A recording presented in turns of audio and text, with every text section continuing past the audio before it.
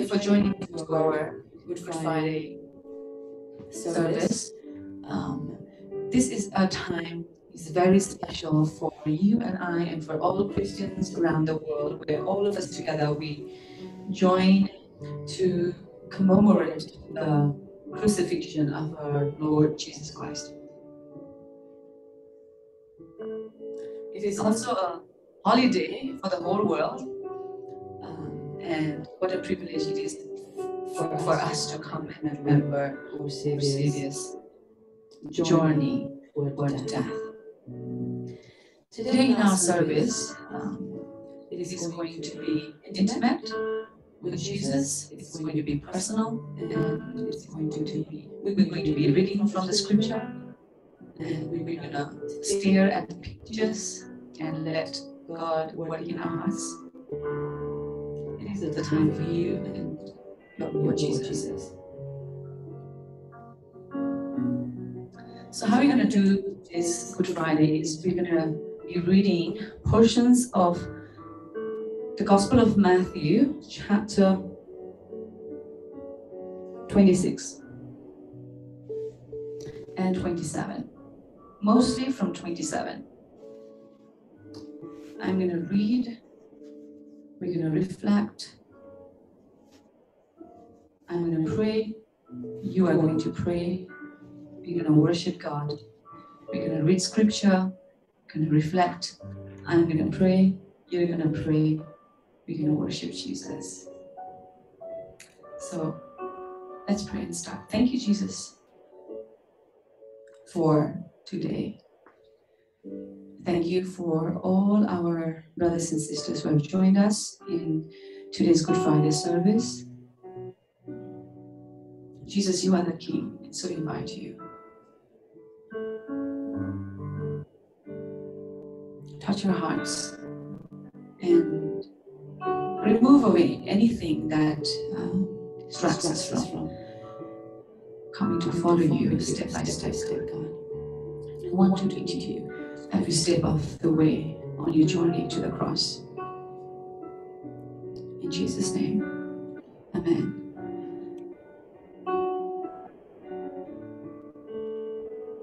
Early in the morning, all the chief priests and the elders of the people made their plans how, how to have Jesus executed. So they bound him, led him away, and handed him over to Pilate the governor. Jesus stood before the governor, and the governor asked him, Are you the king of the Jews? You have said so, said Jesus so, replied. Jesus replied. When he was accused by the chief priests and the elders, and the elders, he gave no answer. Gave no answer. Pilate answered him. Pilate answered him. Don't you hear the Don't testimony hear they, are they are bringing against you? But Jesus, but Jesus made no reply, not even, not to, a single, to a single charge, to the great, to the amazement, amazement of, the of the governor. Then, then the governor's soldiers, the governor's soldiers took Jesus into the Praetorium, and gathered and the whole company, of soldiers around him. They stripped him, stripped him and put a scarlet and put a scarlet robe on him, and then twisted thorn and twisted together a crown of thorns and set it on his head. They put a staff, staff in his right hand. In his right hand. Then they knelt then in front of him and mocked him. And mocked him. Hail, King of the Jews! Hail, they King said, of the Jews! Spit on him. They spit on the staff and struck him on the head, struck him again and again. After they had mocked him, they took off the robe and put his own clothes on him, and led him away to crucify him. To crucify him.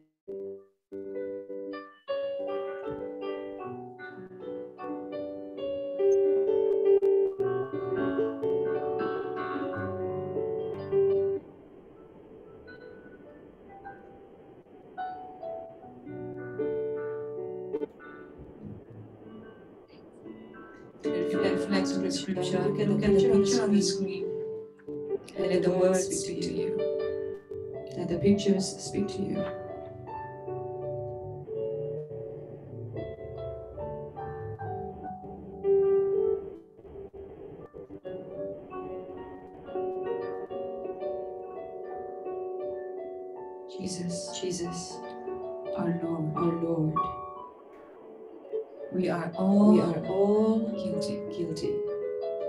Together with the Together chief with the chief priests priests and, and, elder- and, and elders and elders who handed you over, together with together Pilate, the weak the bully, weak bully, and together with and the crowds that screamed, crucify, crucify, crucify him. crucify him. We are all We are all guilty. guilty. You on You on no one no could one find could find fault. fault. Sinless, Sinless, silently you walk silently you walked toward the cross. toward the cross. Your cross, Your cross, but carry but our carrying guilt, our guilt, our, our sins, sins, drawing us all to seek from you redemption and freedom.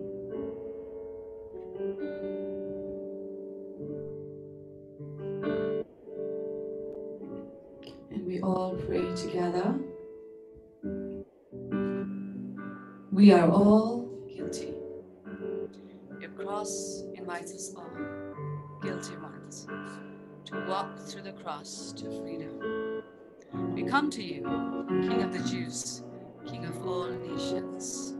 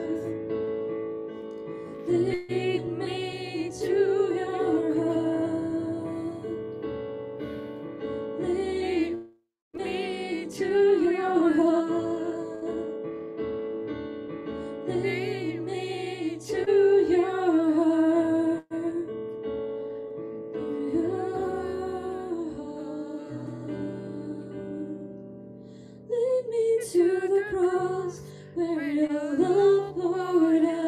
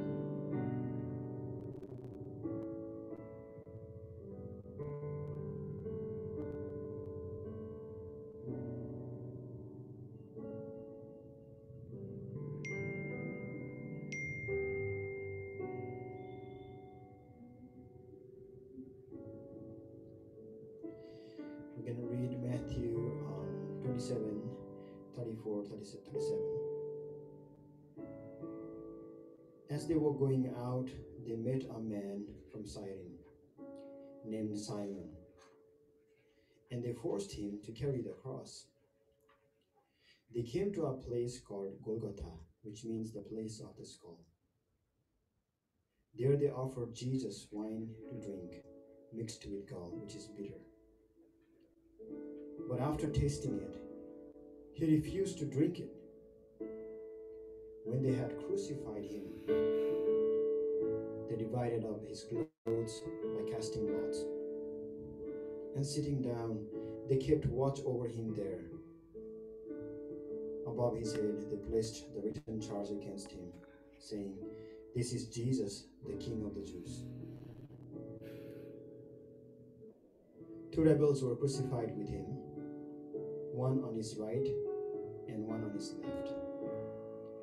Those who passed by heard insults at him, shaking their heads and saying, You who are going to destroy the temple and build it in three days, save yourself. Come down from the cross if you are the Son of God. In the same way, the chief priests, the teachers of the law, and the elders mocked him. He saved others, they said, but he cannot save himself. He is the King of Israel. Let him come down now from the cross, and we will believe in him. He trusts in God. Let God rescue him now if he wants him. For he said, I am the Son of God. In the same way, the rebels who were crucified with him also heaped insults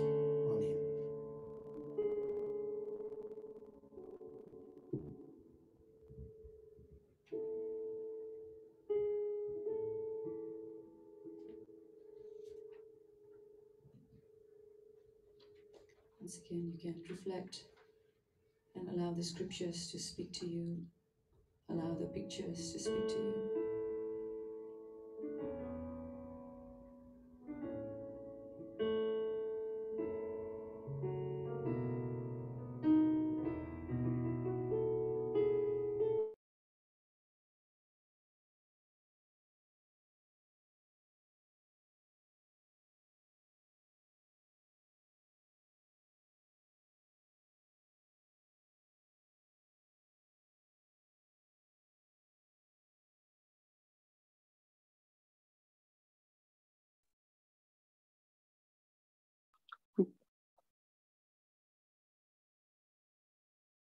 ゃいまし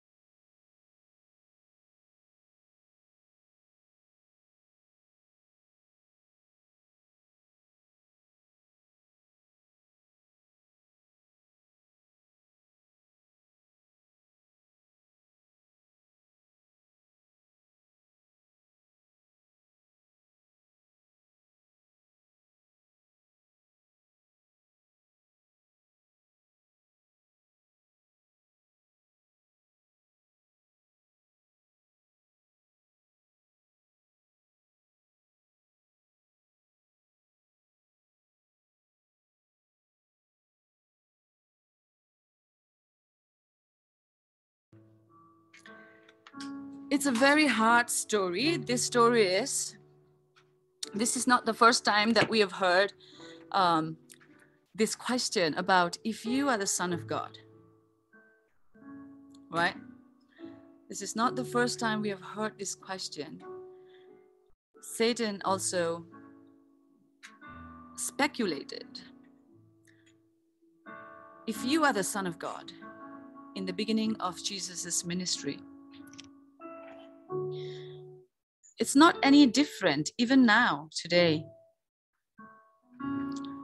And it's not any different at the end of Jesus' life itself.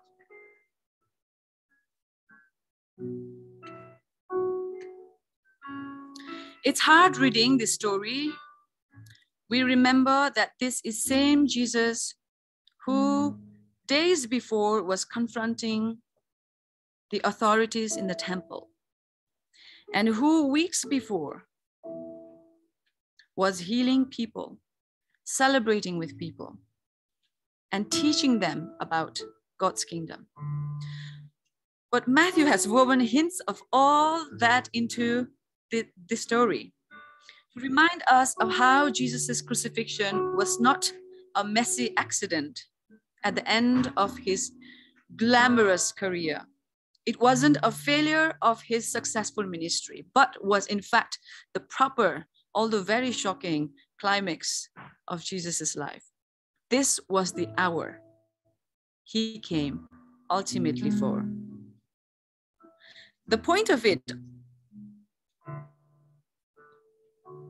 the point of it all is this Jesus is leading the way of the kingdom he has spoken of from the beginning.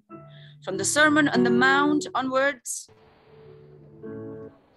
it was never a kingdom to be maintained by military force, but by means of self giving love. Jesus is struck on his face and he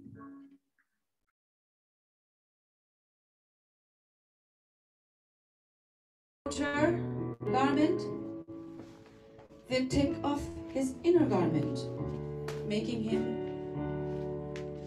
naked.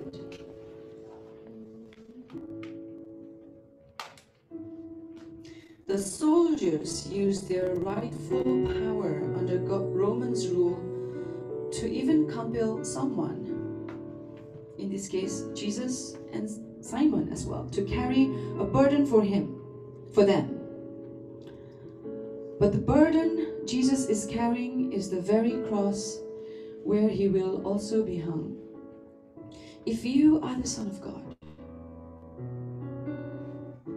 indeed, he is the Son of God who will, unlike the first Son of God, Adam, is an obedient Son of God who will not come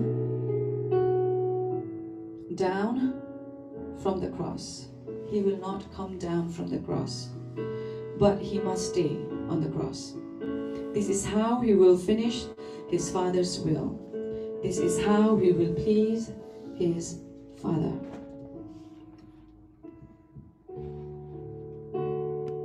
Jesus, you fulfill scriptures.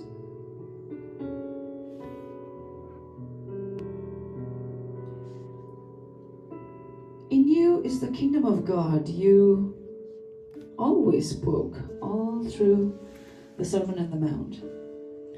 We have seen and read how you have lived and now how you are going through your death.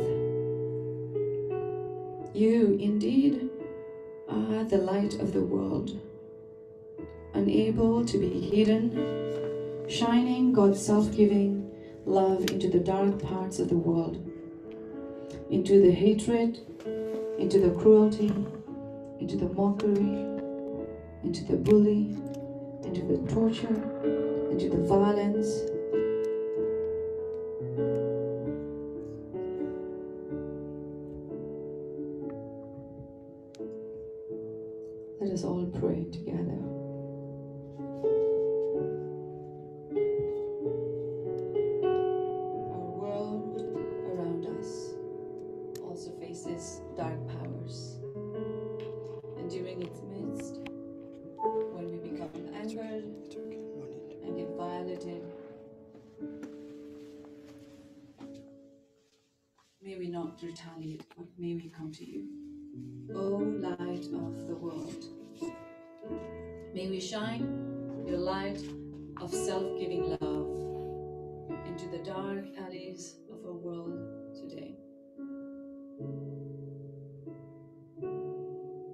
May we be unafraid to tell many others the hope and healing and forgiveness we have graciously found in you.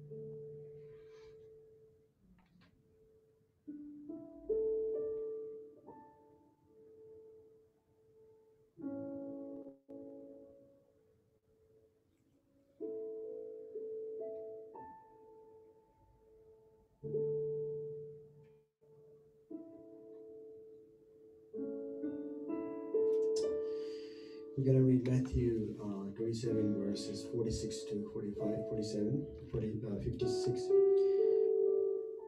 From noon until 3 in the afternoon, darkness came over all the, all the land. About 3 in the afternoon, Jesus cried out in a loud voice, Eloi, Eloi, lama sabachthani, which means, My God, my God, why have you forsaken me? When some of those standing there heard this, they said, he is calling Elijah. And immediately one of them ran and got a sponge. He filled it with wine vinegar, put it on a staff, and offered it to Jesus to drink. The rest said, Now leave him alone. Let's see if Elijah comes to save him. And when Jesus had cried out again in a loud voice, he gave up his spirit. At that moment, the curtain of the temple was torn in two from top to bottom. The earth shook, the rocks split, and the tombs broke open. The bodies of many holy people who had died were raised to life. They came out of the tombs after Jesus' resurrection and went into the holy city and appeared to many people. When the centurion and those with him who were guarding guarding Jesus saw the earthquake and all that had happened, they were terrified and exclaimed, Surely he was the Son of God. Many women were there watching from a distance. They had followed Jesus from Galilee to care for his needs. Among them were Mary Magdalene, Mary the mother of James and Joseph, and the mother of Zebedee's sons.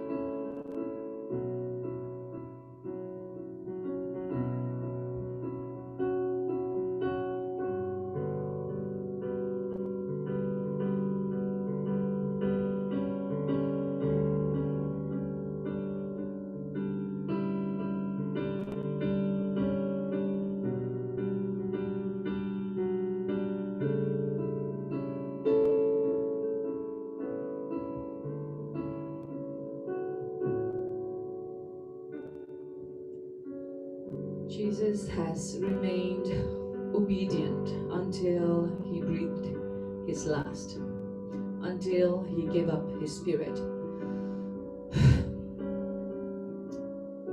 He has remained obedient even through the time of experiencing God's forsakenness. He takes with him the sin the sins of the world, the darkness of death, and the burden of the weary world upon himself.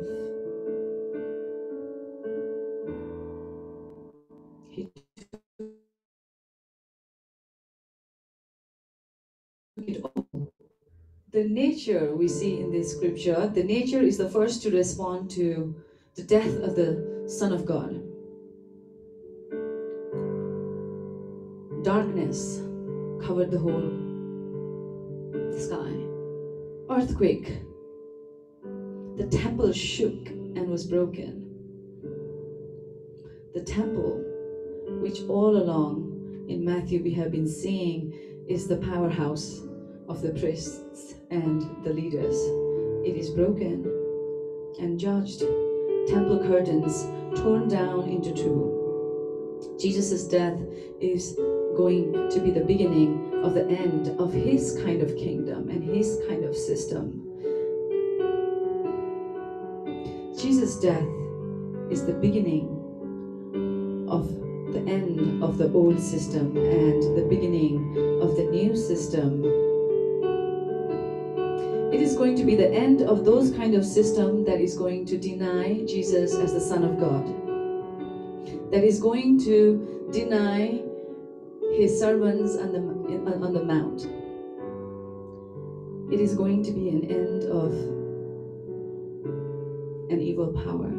It is the beginning of this प्रभु हाम्रो पापको लागि तपाईँ कलवरी क्रुसमा जानुभएको nations will start flocking to this hill of Calvary where Jesus' cross lie, where Jesus has died cruelly. And as a sign for future, shockingly, and in the most unexpected manner and time, we see that even a centurion guarding at the foot of Jesus' cross. We see him at this most shocking, unglamorous time when Jesus is hung on a cross, claiming and putting his faith, saying, He really is the Son of God. This is a sign for the future where millions will look at the cross and put their faith in Jesus, the Son of God. This is where the glory of the Son of God is ultimately revealed the cross of Jesus Christ. Now, the crazy, untalked fact about what we just read the bodies of many holy people who had died were raised to life. We don't talk about these things. It gives us a hint and hope that, that death surely is defeated. People are rising up. But we must wait until Easter to hear about that. Let बानी तिमी वान ओ क्लकसँग सुत्ने तिम्रो बानीले कसरी school जान्छौ कसरी पढ्छौ बिहान उठेर जान्छौ त्यो चाहिँ how do you go how to यसो गर्दै यहाँ र त We Oh. submit our lives and ways यसो गर्दै to gazing at you, coming to your hill, and living यसो गर्दै हेर. न अबे मलाई भन्दै हाँसेको कि त मोबाइल हेर्दै पो हाँस्दो रहेछ ओ माई गड I'm laughing at you, Mama. ओ माई गड I was laughing at you. There's nothing funny in खै तिम्रो त्यो ऊ लुगा यहाँ हेङ्गरमा लगाऊ अनि उ त्यहाँभित्र राख त्यो दुइटा सर्ट Um, त्यो दिदीको रुममा राखेँ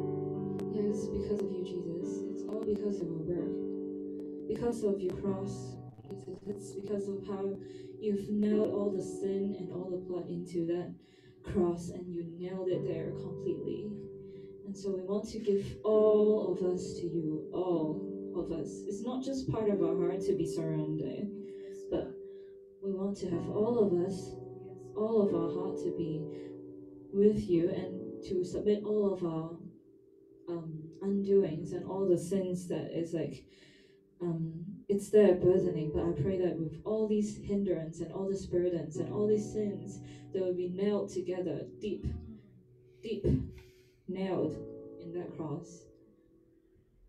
And when you take them to death into the shadows, I pray that you also bring all these burdens to the shadows.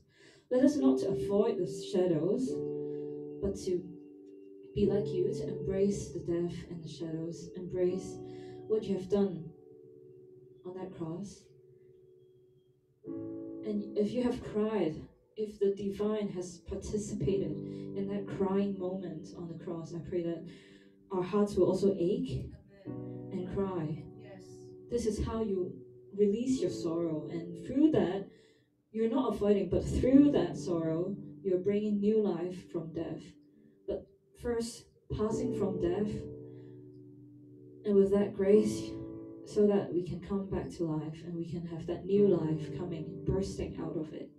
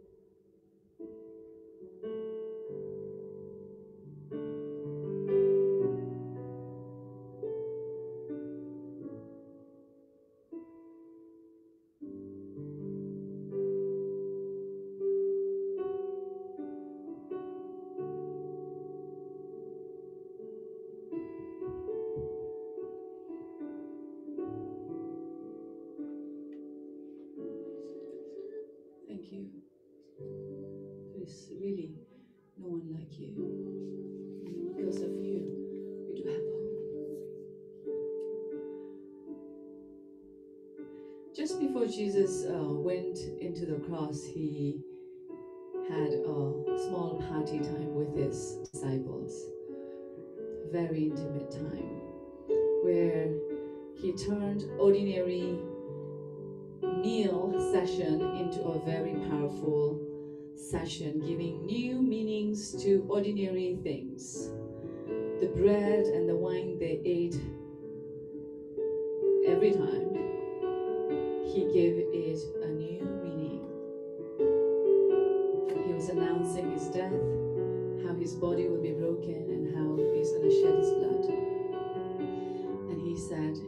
Remember me. And this is how we remember him by participating in the Lord's Supper. He calls everyone, everyone.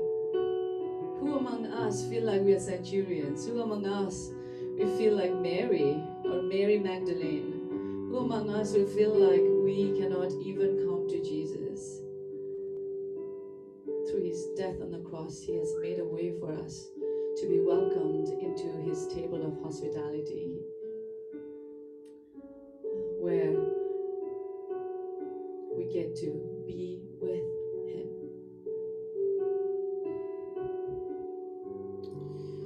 Uh, let us just turn into a time of uh, communion right now. And uh, um, if you have elements with you uh, in your houses, can just take those and uh, put it in front of you so that you can comfortably take those into your hands and uh, just take it. Um, yeah, so let us enter into a time of communion right now. So, why communion is so important right now um, just before the you know before jesus uh, dying on the cross um, and i really believe that this moment that jesus really wanted to spend time and it, says the scripture says that he really longed or spent he really wanted to spend that time with uh, with his disciples. Uh, and and, uh, and that's where we see Jesus, um, the utmost love pouring for, uh, you know, being, being expressed for his disciples. And in some of the, in some of this, um, the other like books we can see in the New Testament books, we can see Jesus bowing down, taking the towel, taking the role of his servant, and and, and begin to wash uh, his disciples' feet. Uh, imagine like a leader, imagine like a like like a Messiah, imagine imagine like like a teacher, like who God Himself, Son God, uh, the Son of God Himself, who actually created all of us. He knew each one of us, but now He just He is now bowing before the feet of His created beings, and now He begins to wash their feet uh, in the expression uh, to express his love uh, for the humanity for each one of us. And and that's how the meal started. That's and that's where he then began to say that um, he took a bread a loaf of bread and said uh, this is i'm going to read actually matthew from exactly um, from there and uh, matthew 26 um, verses 26 through. While they were eating, Jesus took bread, and when he had given thanks, he broke it and gave it to the disciples. Um, he gave thanks and he broke it and gave it to the disciples. And I'm going to break it, and if you have the bread with you, you can break the bread right now with me. So he broke it uh, and he gave thanks to God. And, and mind you, like as the way this bread is broken, uh, Jesus' body is going to be broken on the cross. Not just on the cross, but onto the way of the cross. He has been to that brokenness. He went through that brokenness. So one question that was coming to me was that was that uh, you know in this journey of brokenness, where do you find yourself? Uh, Jesus was broken, and he gave uh, his uh, he broke the bread and he gave and uh, he gave it to his disciples. And then he said take and eat it. This is my body which is broken for you. We will just hold that bread for a while in our hands. And in the same way he took a cup he took a cup and when he had given thanks he gave it to them. He took a cup and and he gave it to them. And this is very uh, powerful saying that drink from it all of you. This is my blood of the covenant which is poured out for many for the forgiveness of sins.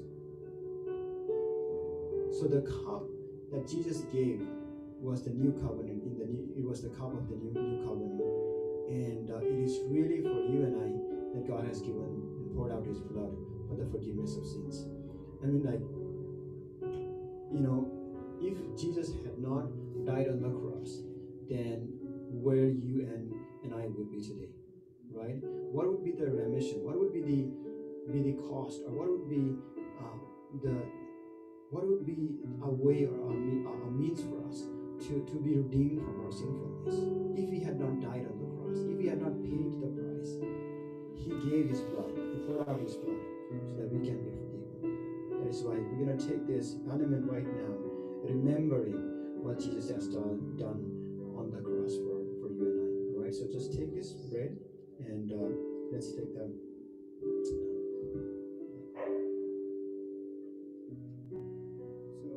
what I'm going to do right now is just that I'm going to serve my brothers and sisters here. Uh, so you can just be um, and then we can just eat eat it together. Okay, so just just take it together.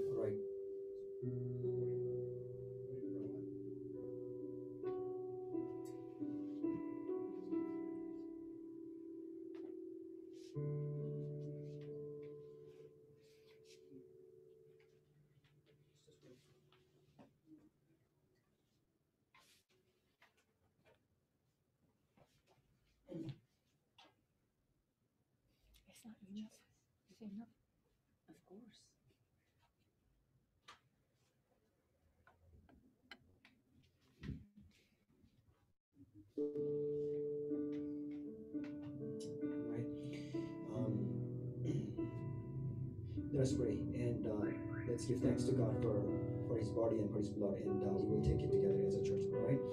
Uh, Jesus, we want to thank you for uh, your sacrifice on the cross. Jesus, thank you, Father, for bearing our sins on your body, Jesus. Lord. And thank you, Father, for you allowed us to be be with you, God, and you allowed us to uh, to commune with you and in the, your body and your blood, Jesus, Lord. Oh God, we cannot even fathom, God, how much you have paid, Father, us. But right now, we remember, we remember what you have done on the cross on that day, Jesus, And God, we thank you, Father, for this blood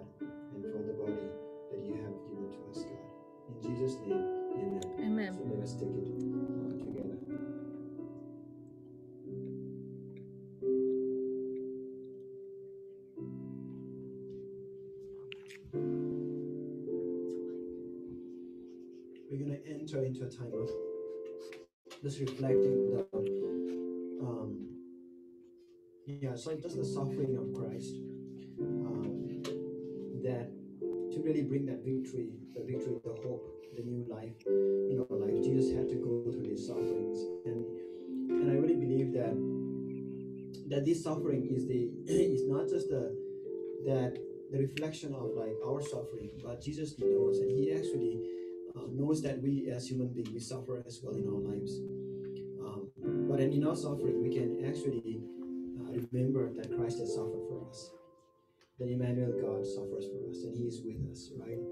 And uh, in whatever in whatever ways in your life, in what in whatever you are in the spectrum, whether you're whe- whe- whether you are going through hard times in your lives, whether you're going through physical sickness in your life right now, whether you're going through abandonment right now, loneliness, or or some sort of like uncertainties in your lives, the questions that you have, just know that Jesus has suffered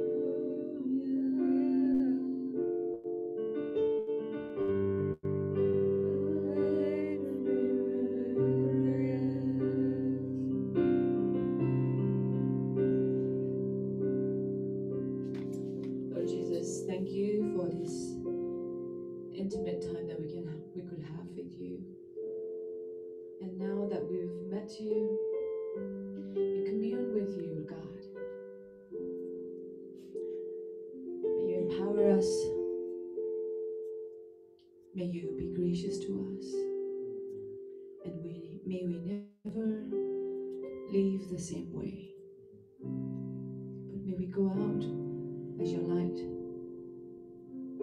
in the world, telling people about the salvation, hope, healing, and future, and forgiveness of sins we all can have in you.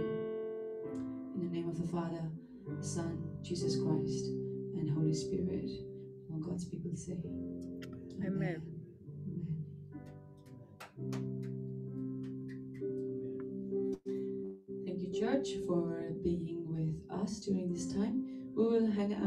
for a while, so um, you can still stay. The music will still be playing. If you still want to have some time with God, you can, okay? Um, but we will be meeting for Easter Sunday um, at 11 a.m. again on Sunday, so we'll see you there.